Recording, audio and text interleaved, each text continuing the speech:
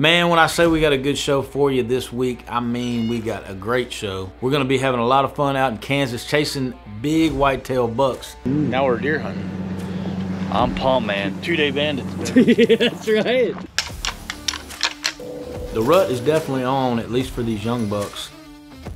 That's a pretty crazy way to start the hunt. Now we just need one that's a little bit bigger to come in. We see this doe running in, and we just know a buck's chasing. Sure enough, it's not a buck, it's the buck. He gets broadside for a second. I didn't really have a great shot, and then he's out of my life for good. So I think. I'm excited. I can shoot a long way now. And I'm gonna have way more of a heads up. Doe right here. Buck chasing her. That's our, that's it. That's our buck.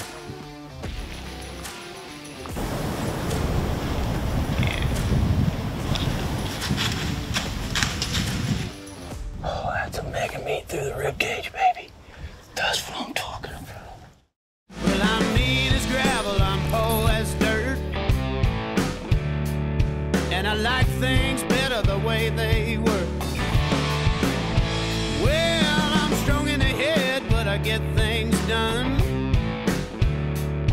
spend too much money to have a little fun. Come on. I ain't changing, I'm a stubborn man. So can you love me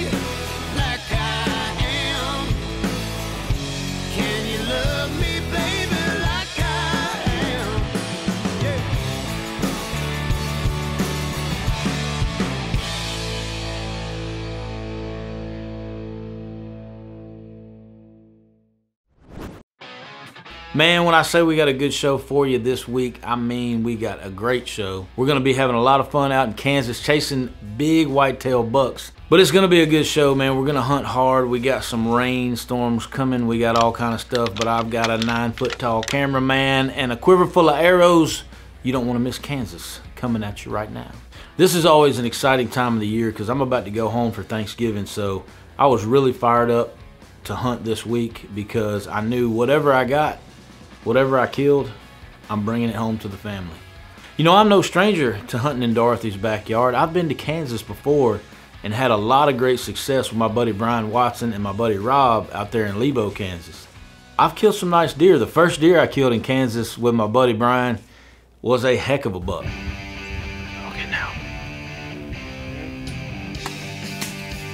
And I believe old Rick James was my first, maybe my first Monster Bucks appearance. Which, if you're a redneck, that's kind of a big deal. Not to mention the big buck that I shot with my 308 a couple years ago with Lucas.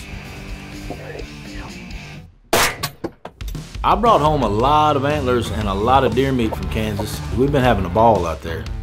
So a business partner of mine said, hey, if you want to mix things up a little bit this year, you ought to check Seth McGinn's place out.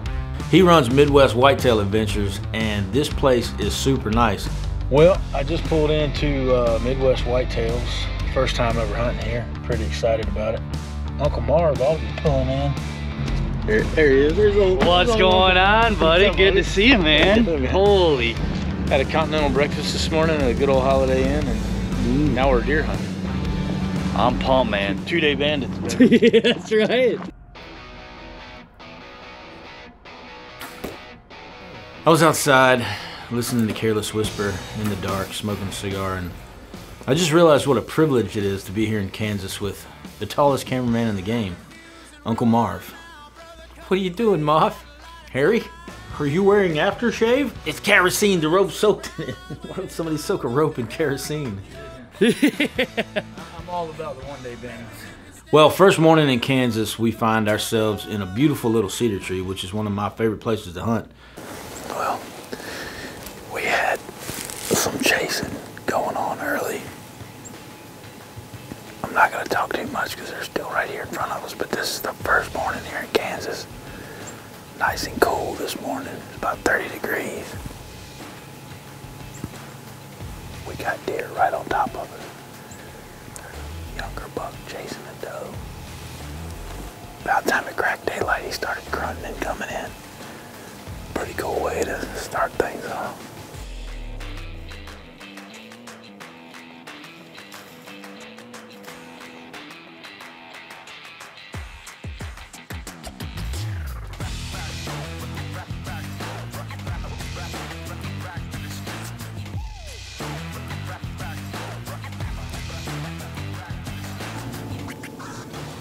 That's a pretty crazy way to start the hunt.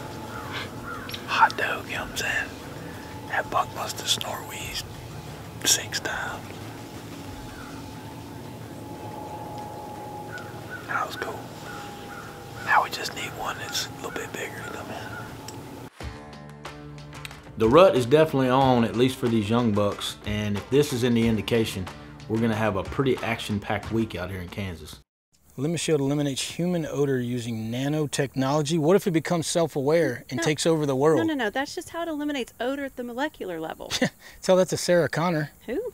Terminator, iRobot, The Matrix. Just gets rid of the odor from the dead skin cells. It's got aloe in it. If you want great results in anything, form is critical.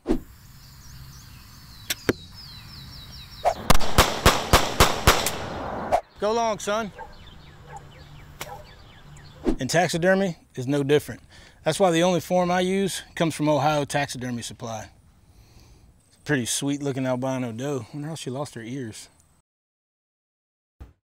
So there was one area that me and Jim talked about getting into, and we were waiting for the wind to be right, and it looks like for this morning's hunt, it's gonna be on. All right, man, it's the morning of day two. I'm ready to kill something. This has been a good hunt. We've seen deer. Both sits yesterday, we saw deer all day. We just need to see a big shooter buck in bow range. Obviously, that's what we're looking for. You know, we might we might sit all day. I don't know, depending on what the wind's gonna do. But we're gonna try some calling and different things. It's been kind of a quiet morning. Hopefully, this is like a mid-morning spot.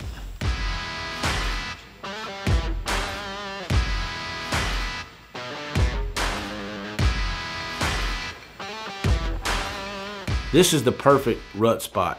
I mean, there's good CRP in front of us. We're out in some big timber, and anything could run by at any minute.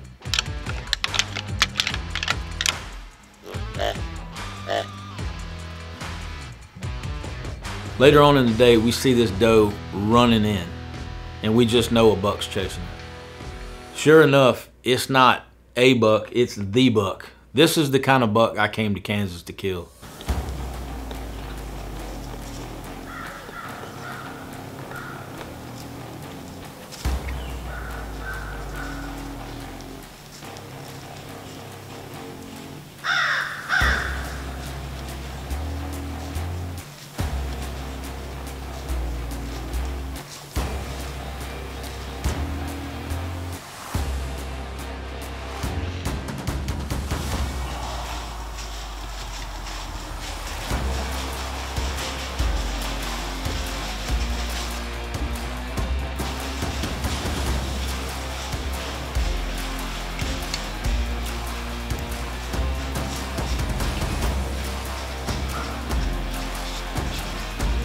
You know, it happened a lot faster than it looks in the high speed camera, but he came in there, he's chasing her at 50 yards. He gets broadside for a second. I didn't really have a great shot, and then he's out of my life for good. So I think.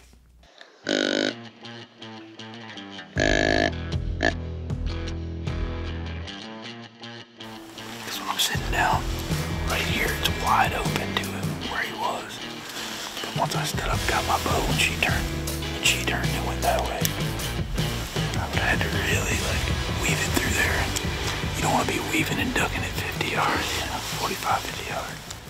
Oh man, what a freaking good buck though. Dang. I'm just praying that this big buck chases that doe back by us. I mean, it's the rut, anything can happen. They're off in the distance chasing. Some more bucks get in the chase. They jump up more does. It's just a, a tornado of rut activity. They're over to our right, and then they're to the left of us. They're running through the field on the way in to the stand. I mean, it's on fire right now. I just wish we could get in a little bit more of a high tree stand or move our position slightly, but we're gonna hunt this spot. We're not giving up on this buck. We will be back in this area, but they're calling for crazy winds and torrential downpours. So the plan for the next morning is to hunt this box blind and then come out while it's still raining, hang a set of summits and get in them. So right when the rain breaks, they're calling for a break in the rain. That's when it should really be jumping off in this spot.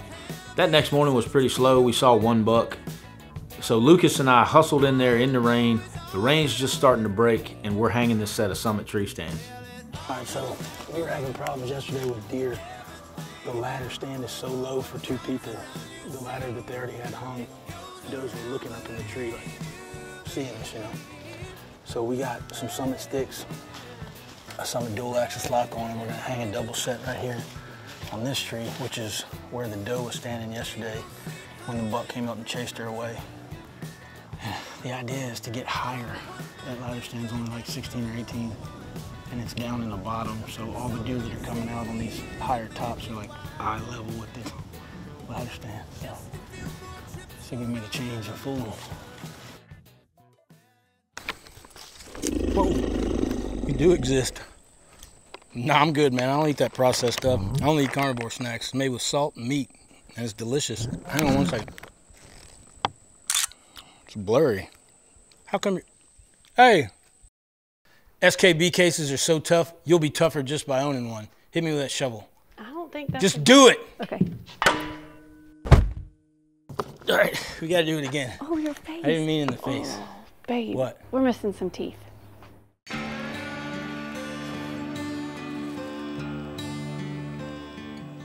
I like this spot a lot better. We, uh, brought this Summit dual axis in here, hung this set right beside the, the set that Jim had hung over there. The problem was we were too low down in this dip. All the deer were kind of looking at us. We saw a shooter in the daylight yesterday, watched him for like two hours or something. I'm excited. I can shoot a long way now, and I'm gonna have way more of a heads up, and the deer are not gonna see us. So it's gonna be. I get settled into the stand, get a few ranges, and there's deer running to the tree stand. Doe right here. Buck chasing her. There's a buck chasing her. That's our, that's it. That's our buck.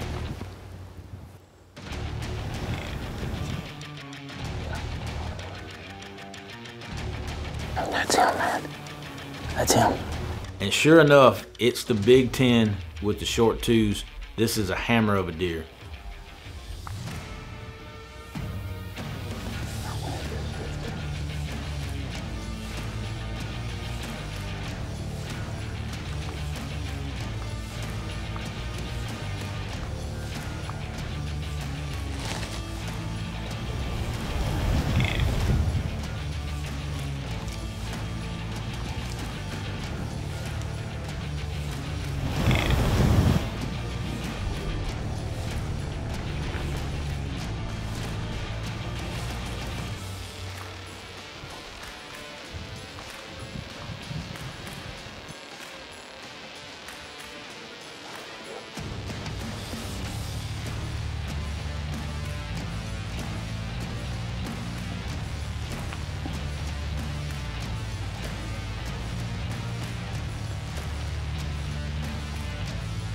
This deer's standing there quartering to me at 35 yards, and that's not a shot that I want to take. I mean, a top pin quarter and two shot is one thing, but when you start getting out there closer to 40 yards, quarter and two is never a good idea. So I'm just waiting, man. I'm being patient. I need this deer to turn. I'm about to come apart. And our wind is super sketchy. I mean, it's it's quartering kind of right into the direction where they came from, but it's not quite blowing right at them yet.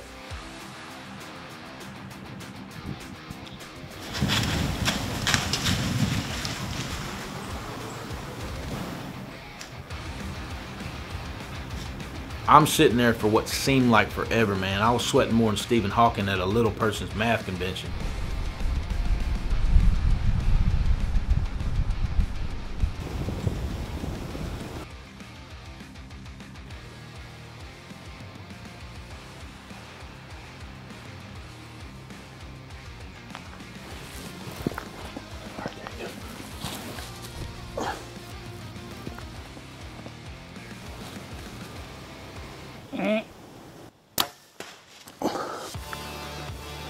Oh, done. He's done.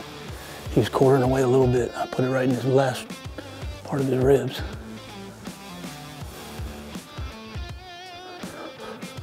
Oh, he's done. He's quartering away. He's walking. I slipped it right in the third rib from the back. We're not gonna get too crazy right now, but he's that's a big buck, buddy. mega meat through the rib cage, baby. That's what I'm talking about. Blood everywhere. Did you see it out of both sides? My man. My man. Double lunger, baby. Son. I want, I want to celebrate, but I don't want to just. I want to wait a, like a good hour and then we'll go look at blood and stuff. Because he was, I mean, in the rut, you got to be ready to shoot, son. He running quartering away. You Ducked it so good, buddy. I saw it hit him like. I was aiming for a bit of viewfinder and I'm no. I'm hit him where I damn. Oh, I gotta, tell, I gotta calm down. So this buck wouldn't stop, but I felt confident in my lead. I had it rock solid right on him, 35 yards, slipped it right in the middle of his rib cage, and it was all over but the falling at that point. All right, here you are, Mr. Campbell. It took me just two weeks. What is this? It's the new semi non binary. Did you bedazzle his eye? Yes, and that's an upcharge. Thanks. You wouldn't trust your trophy to an amateur, so why hang it like one? Get a full range hanging system. These Vortex lenses are 100% blood diamonds. No, they're not. Oh man, look at that red tail hawk on Jupiter. What? With Vortex, you can see the game warden before he sees you. Are you serious Cut the camera off. I don't know whose property this is, man. We gotta get out of here. He finally turns and gets broadsided just over 30 yards, and I try to stop him. I was confident he was still well within bow range. He's walking, I get my lead, he's hard quartering away, but I know I can get him, and I turn the arrow loose. There's no doubt on this one that the Hoyt has found its mark because blood starts shooting out of both sides of this deer. He's crashing, running toward that CRP. On top of the world, can't even describe it. If you're not a bow hunter, I highly recommend it. There's nothing quite like it. I smoked him at 30 yards running quartering away. We know this deer didn't go far, so we hustle on the blood trail, and really it's not that hard to follow. It's coming up on an hour. By the time we get over here and get the arrow and look at the first blood, it's gonna be close to an hour since I shot. Now it looked perfect, but anytime a deer's moving or quartering or anything like that, you wanna give them just a little bit. Even though there's blood spewing out of both sides of him, which is a good sign.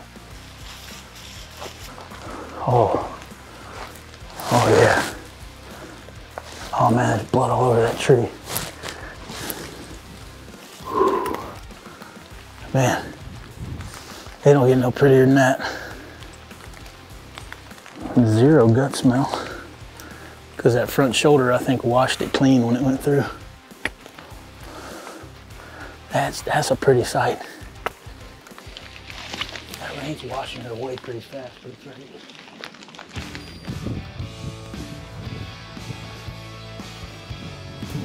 Can you see him? Can you see him? My man. Look how look how big he is. Oh my gosh, man. Holy cow. That's him. Oh, look at the exit mark. You were right. Could have been better. Look at that rascal right there. That's a hammer. That's a hammer, man. What you think, Mark? How cool is that? Look at this, man. Look at the size of this deer. what a hunt, man. That that hunt was incredible. I mean, this this hunt was everything you would want from Kansas rut. I mean, you can ask you can ask Lucas. It was crazy. I mean, you guys saw it, but I couldn't believe it because Lucas and I just hung the stand, just hung the stand, just to get a little advantage, get a little higher with the summit instead of instead of being low to where we were in their eye line. Their line of sight when they would come up over those little rises, they were looking right at that ladder stand just because it was down in the bottom. So we we rehung, got up in it, sat there about five minutes, literally just got settled in, just put my bow on the hanger, sat down, took a deep breath, was looking around, and burp, burp, burp. I heard them heavy footprints, and here comes this doe. Unbelievable. What a freaking, come look at this, Lucas, come here with the camera. Look at that freaking, there's your exit. And that came dead center through the shoulder. He was actually like physically turned and was running away, and I just tucked it right in there. Made a pretty good shot on the old boy. What a deer, man. what a deer. Yes, sir, baby. Not only did we kill a giant buck this week, but it's my ticket home. My favorite thing in the world is coming back in off the road to see my kids and my wife. It's going to be Thanksgiving. We're going to have a big old party, and I guarantee you, turkey is not going to be the only thing on the menu this Thanksgiving. And as always, don't forget to stop by the online store on your way out. It's our backup plan for keeping the lights on when everybody cancels us and we get demonetized every which way for saying a bunch of offensive stuff that we want to keep on saying so we can entertain you. See how that all works? Love you guys. We'll see you next week.